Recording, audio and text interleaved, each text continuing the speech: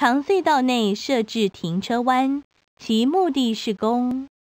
一、停车休息；二、故障车辆停放；三、前车阻路超车用。长隧道内设置停车弯，其目的是供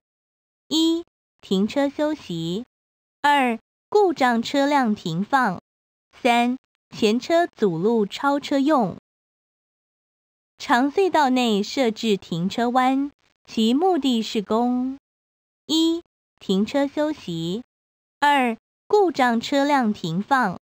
三、前车阻路超车用。